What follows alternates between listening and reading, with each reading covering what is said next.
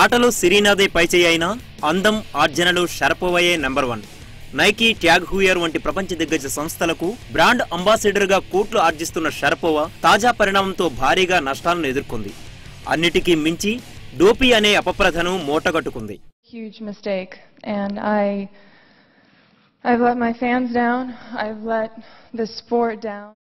Strategy because these stories have a habit of developing and unfolding over a long period of time and becoming rapidly worse. Um, so Lance Armstrong is obviously the classic example of that. Um, it just can lead to months and months of negative headlines surrounding the athlete and all the brands that sponsor him. జరిగిన తప్పులో బాధ్యతంతా తనదే అంటున్నా తెలియకే జరిగిందని Sharapova చెప్పడం భిన్న వాదనలకు తావిస్తోంది పదేళ్ళుగా Sharapova meldonium అనే డ్రగ్ను వాడుతున్నా ఈ జనవరి నుంచే దానిని నిషేధిత డ్రగ్స్ జాబితాలో చేర్చారు. దీనిపై వాడా ఆమెకు మెయిల్స్ చేసిన ప్రపంచ టెన్నిస్ సమాఖ్య లేఖలు పంపించిన షరపోవా నిర్లక్ష్యంగా వ్యవహరించిందని విమర్శకులు చెబుతున్నారు.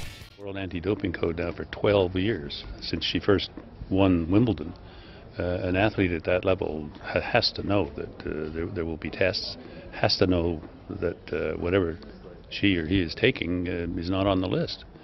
And it, it was willful negligence to uh, to miss that. I mean, she was warned in advance. I gather that the, the the WADA publication was out there. She didn't pay any attention to it. The Tennis Association issued several warnings, none of which she apparently read. So uh, I- I'm sorry, you, you're running a $30 million a year sole enterprise, you better make sure that, that the basis for that uh, commercial success, if nothing else, uh, remains unassailable. ఇక Sharapova చెబుతున్న వివరణ మరోలా ఉంది మిల్డ్రోనెట్ పేరుతో రెండు వేల ఆరు నుంచి షరపోవా ఈ మందును వాడుతోంది దానిని మిల్డోనియం పేరుతో వాడా నిషేధిత జాబితాలో పేర్కొంది రెండు ఒకటేనన్న విషయం తెలియకపోవడంతో జనవరిలో కూడా తాను మిల్డ్రోనెట్ వాడానని షరపోవా చెబుతోంది Zonium was added to the 2016 prohibited list, which took effect on the 1st of January this year.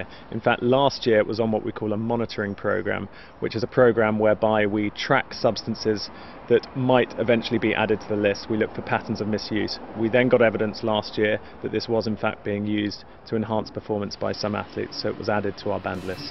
తెలియక చేసిన పొరపాటుగా ఐటీఎఫ్ గుర్తిస్తే షరపోవాపై నిషేధం స్వల్పకాలానికే పరిమితమయ్యే అవకాశం ఉంటుంది. అయితే ఈ మధ్య కాలంలో పెద్ద విజయాలు సాధించలేకపోతున్న షరపోవాపై తాజా ఘటన ప్రభావం చూపిస్తే ఆమె కోలుకోవడం కష్టమే.